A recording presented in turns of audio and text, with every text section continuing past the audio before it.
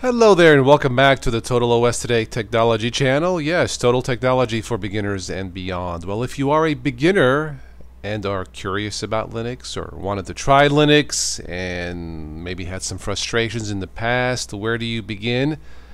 Maybe this top 10 list of the best, of what I believe to be the best Linux distributions for beginners for this year, maybe this is a good place to start Linux can be at times completely satisfying, completely frustrating.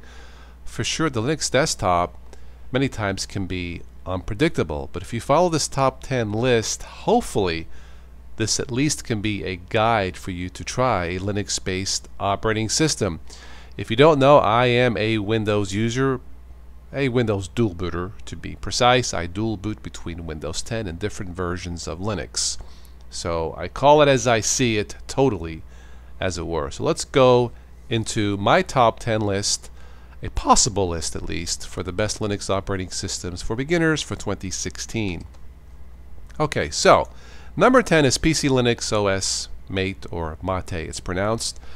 This is great. They PC Linux OS, they don't really focus on cutting edge software, it's more on stability, not the latest software. Uh, the latest, or rather, I have this on a um, on a ThinkPad from 2004 with a gig of RAM or less, and this works pretty good. So if you want something lightweight and it just works out of the box, check out PC Linux OS, the Mate version. Keeping it light, LXLE. LXLE uh, this is the um, probably one of the lesser known Linux distributions. Uh, this one actually looks pretty good out of the box. It should be all set to go. And again, if you have an older machine, this one should be fine. Number eight Zorin OS used to be my number one pick, but they have switched desktop environments, and I am not a fan of GNOME 3 uh, for beginners. I'm, I'm still picking Zorin because it does work out of the box and it is still polished. But for the next one, the Zorin team may want to consider a different desktop environment. But that being said, you may want to give Zorin OS a try. It is not designed for older machines. I recommend even though you don't need it, but I do recommend you have at least 4 gigs of RAM to make this one run comfortably. Netrunner, I've tested this over the years several times. This one always looks great out of the box. Uh, it's also not designed for older machines.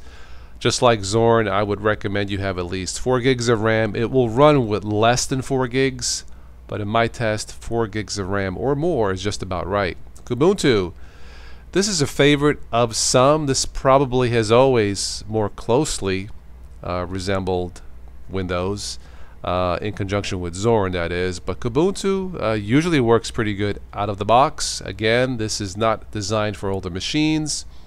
Make sure you have lots of RAM. Something else that is designed for older machines at number five is Linux Lite. Works pretty good the last time I tested it. And if you were coming from a Windows environment, especially the old Windows XP, check out Linux Lite. Keeping it light once again is Lubuntu. Now this Lubuntu is really, really, really super light out of the box. It may be too light. It may not have everything you need, but if you just want to browse the web, play some music, and that's it, Lubuntu may be it. However, if you want something with a little more meat, as it were, check out number three, and that's Ubuntu. It's one of the machines what I uh, excuse me what I currently use now what I'm using to record. I've always liked Ubuntu with the Unity desktop more so than GNOME 3. It's worked pretty good for me in the past and it works pretty good now. now. I know for some of you Ubuntu, the latest Ubuntu has been a disaster. For some of you, including myself, it's been fantastic. Again, Linux desktops will vary between hardware compatibility, graphics drivers, and the type of software you need to use.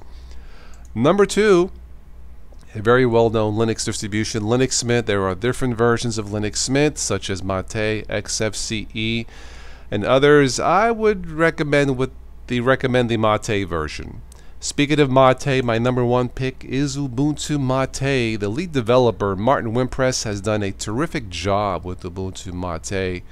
Uh, I spoke with Martin, I believe it was last year in, in, in, a podcast, and he explains on why he created Ubuntu Mate. And I, um, I affectionately call Ubuntu Mate the romantic OS. You'll have to take a listen to the podcast as to why I called it. But thank you, Martin, for a terrific, user friendly desktop, not just for beginners, but for everybody. And in my test, Ubuntu Mate usually always works out of the box after you install it. So that's it. That is my top 10 list of the best Linux operating systems for 2016. Your results will vary, again, depending on hardware, graphics drivers, and the type of software you use. Keep in mind that the Linux desktop many times can be somewhat unpredictable. I recommend you try it, installing it, running it off a USB stick to see if you like it. If it does, if you happen to have a spare machine, do a full install. If you want to do a, install it as a dual boot like what I do with Windows 10, you can certainly do that. But for now, this is my top 10 list. So for what it's worth, I hope at least one of these top 10 work excuse me, work for you. It certainly has for me. Well, that's all I have for this one. If I missed anything, please let me know in the comments below. As always, enjoy your technology and please don't text and drive. I'll catch you later.